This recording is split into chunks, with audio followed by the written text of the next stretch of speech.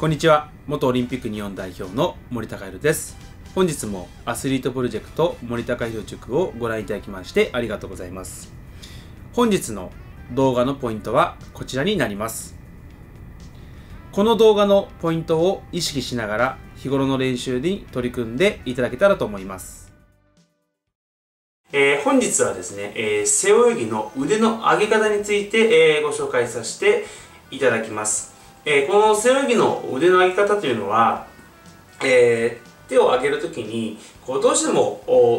手の力だけでこう上げてしまう方が多いんですけども力だけで上げてしまうとどうしても肩に負担かかったりとかあ体がこうブレてしまったりとかその体幹部ですね、えー、ブレてしまったりするのでできるだけこう脇を開くようにしてあげるといいです。でそして手をかいてきたらイメージで言うと脇が締まりますよね。その締まった脇を開くっていうイメージを持って手を上げてあげるとスムーズに上がりますしコンパクトに上がりやすくなるので、えー、こう手を振った時に体がぶれることがあすごく減ってきます。なので入水したら手じゃなくて脇を振ってこうスムーズにこう開いてあげることをイメージしながらあぜひ泳いでみてください。